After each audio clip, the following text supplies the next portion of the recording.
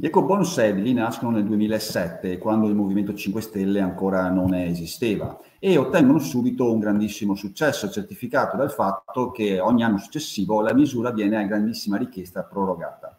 Per i 12 anni successivi i bonus edili vengono chiamati misure win-win, dall'inglese vinci-vinci, perché hanno fatto vincere le famiglie che acquistavano di più grazie alla detrazione fiscale, le aziende che vendevano di più e vendendo di più ci pagavano sopra più tasse senza poter fare il nero e quindi vinceva anche lo Stato che alla fine dei conti incassava più tasse, non meno, cosa certificata ogni anno dai rapporti ufficiali degli enti pubblici di controllo. Ed infatti tutti i partiti politici negli anni passati hanno sempre chiesto un rafforzamento dei bonus, come dimostra incontrovertibilmente la mozione approvata all'unanimità nel 2015 e poi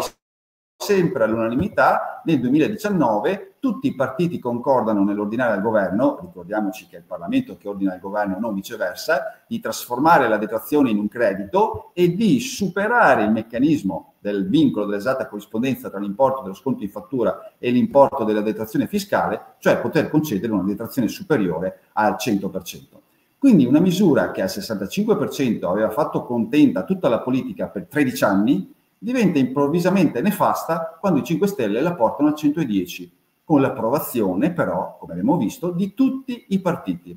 Nel mio libro ho reso conto totalmente gratuito tutti i dettagli con i documenti ufficiali che vi ho mostrato adesso, nero su bianco, e dimostrano l'enorme voltafaccia di tanti politici e tanti partiti che siedono in Parlamento, rinnegando quanto essi stessi